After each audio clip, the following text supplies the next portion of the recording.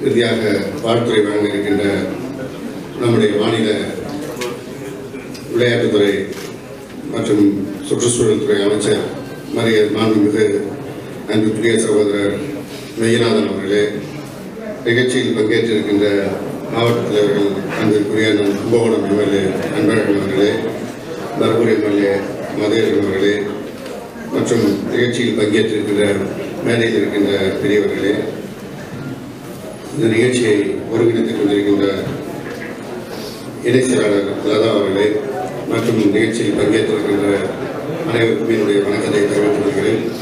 நிகழ்ச்சிக்கு தாமதமாக வந்திருப்பதற்கு என்னுடைய வருத்தத்தை தெரிவித்துக் கொள்கிறேன். நம்முடைய தடகள சங்கம் தொடர்ந்து சிறப்பாக செயல்பட்டு முத்திரை மருத்துவர்கள் இந்த வேளையில் இங்கே இந்த பாராட்டு விழா நடைபெற்றுக் கொண்டிருக்கிறது. விளையாட்டுத்துறைக்கு நம்முடைய மாண்புமிகு முதல்வர் அவர்கள் தொடர்ந்து ஊக்கமளித்து பல்வேறு அறிவிப்புகளை கொடுத்துக் கொண்டிருக்கிறார்கள். அதே போல நம்முடைய விளையாட்டுத்துறை அமைச்சர் அவர்களும் ஏழு ஆர்வத்தோடு புதிய வீரர்கள் நம்முடைய மாநிலத்தில் வந்து உருவாக்க வேண்டும் என்பதை அக்கறை காட்டி செயல்பட்டு வருகிறார்கள்.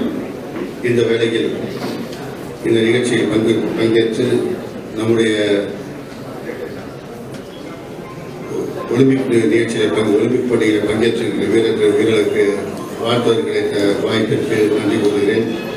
தொடர்ந்து நம்முடைய மாநிலத்தின் பெருமையை நிலைநாட்டுகின்ற அளவிற்கு செயல்பட வேண்டும் என்று கேட்டு இந்த நல்ல வாய்ப்பிற்கு நன்றி கூறி விடைபெறுகிறேன். நன்றி வணக்கம். தமிழகத்தை சார்ந்த தடகள வீரர்கள் வீராங்கனைகளுக்கு பாராட்டு விழாவும்.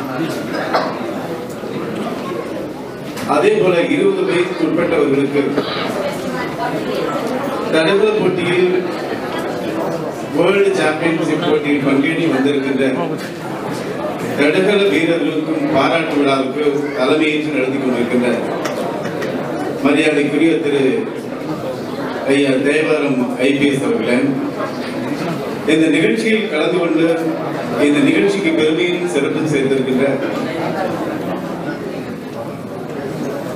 தமிழக அரசுடைய மாண்புக்கு பிற்பட்டோர் நலத்துறை அமைச்சர் அவர்களுக்கும் இந்த நிகழ்ச்சியில் பங்கெடுத்திருக்கின்ற சட்டமன்ற உறுப்பினர்கள் மரியாதைக்குரிய மாண்புமிகு கும்பகோணம் சட்டமன்ற உறுப்பினர் அண்ணன் அன்பழகன் அவர்களுக்கும் பர்கூர் சட்டமன்ற உறுப்பினர் மாண்புமிகு மதியழகன் அவர்களுக்கும் மற்றும் இந்த நிகழ்வில் பங்கேற்று மிக சிறப்பான உரையாற்றி அமர்ந்திருக்கின்ற தமிழ்நாடு கூடைப்பந்தாளர்களுடைய பிரசிடென்ட் மரியாதைக்குரிய அருமையண்ணன் ஆதவ் அர்ஜுன் அவர்களுக்கும் பத்மஸ்ரீ மரியாதைக்குரிய சைலி வில்சன் அவர்களுக்கும் இந்த நிகழ்வில் பங்கெடுத்திருக்கின்ற ஏற்பாடு செய்து நடத்தி கொண்டிருக்கின்ற தமிழக தமிழ்நாட்டினுடைய தடகள சங்கத்துடைய இணை செயலாளர் திருமதி லதா அவர்களுக்கும் மற்றும் இந்த நிகழ்வில் பங்கெடுத்திருக்கின்ற இந்த நிகழ்ச்சியை நடப்பதற்காக உறுதுணையாக வந்திருக்கின்ற அத்தனை பேருக்கும்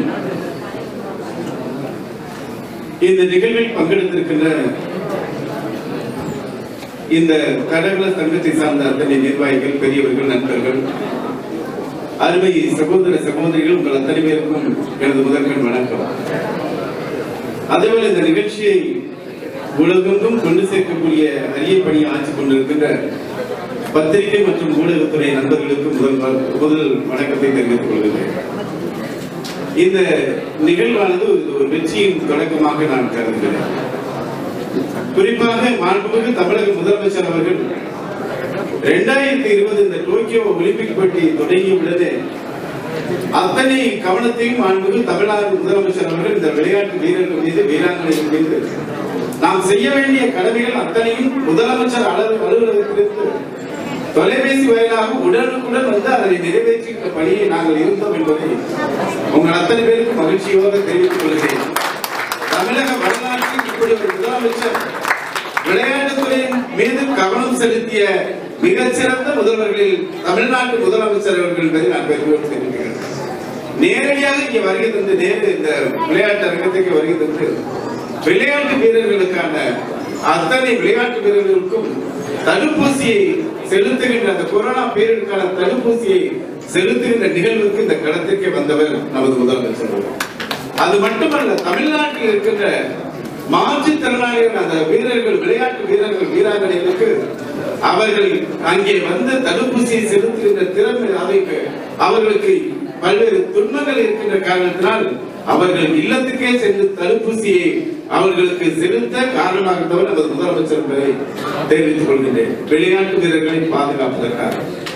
ஆக நமது இங்கே இந்தியாவில் இருந்து நமது தமிழ்நாட்டிலிருந்து பதினோரு விளையாட்டு வீரர்கள் வீராங்கனைகள் டோக்கியோ ஒலிம்பிக் போட்டியில் பங்கேற்றார்கள்.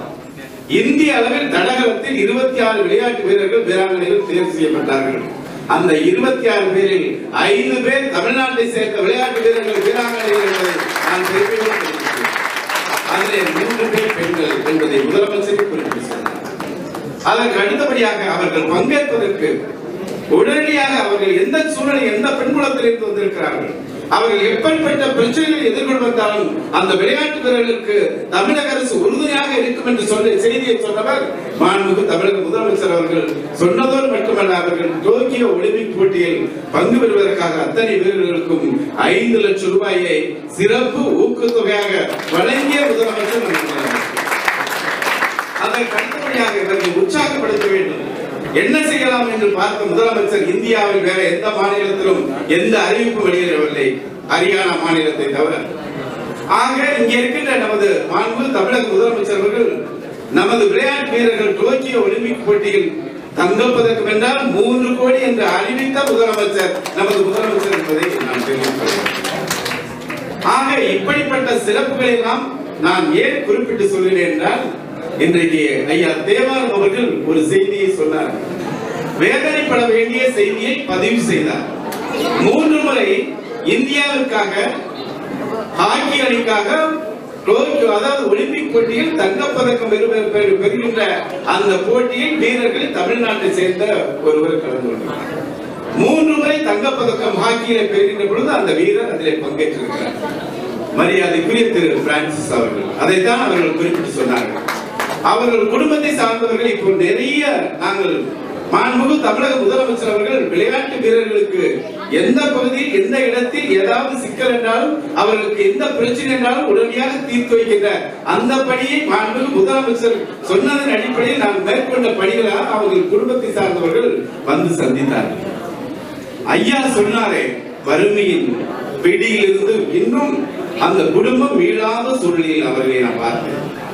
பார்த்துவிட்டு அந்த அதுக்கான அத்தனை செய்திகளையும் சொல்லிவிட்டு உள்வாங்கிவிட்டு இப்பொழுது இது இந்த நேரத்தில் பட்ஜெட் கூட்டத்தொடர் நடைபெற்றுக் கொண்டிருக்கிறது. பட்ஜெட் கூட்டத்தொடர் முடிந்தவுடன் உங்கள் இல்லத்திற்கே வந்து அவர்கள் பிரான்சிஸ் அவர்களுக்கு என்ன பணிகள் என்ன செய்ய வேண்டுமோ மாண்புக்கு தமிழக முதலமைச்சர் அவர்கள் கவனத்துக்கு கொண்டு சென்று நிறைவேற்றுவேன் என்ற செய்தியை அவர்கள் சொல்லியிருக்கிறார்